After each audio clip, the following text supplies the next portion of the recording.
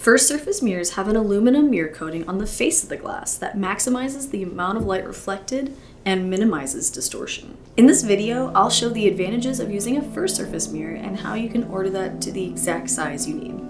Hi, I'm Krista, optical mirror expert with First Surface Mirror. A first surface mirror, also known as a front surface mirror, has an optical grade coating that provides superior accuracy for engineering and scientific applications. It provides a true reflection with no double image, also known as ghosting.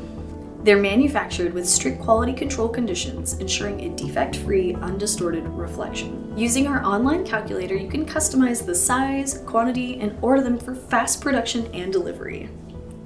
Our team is standing by to cut and package your order immediately. Shipping options are available as you check out, including FedEx Ground, overnight, or even international delivery. Large mirrors are fully crated, and all of our shipments are insured to ensure that they arrive unbroken. You can contact us at sales at firstsurfacemirror.com for a custom quote. Please feel free to send technical drawings so we can help you with fast pricing for custom shapes. Mirrors are sanded before shipping to prevent sharp edges.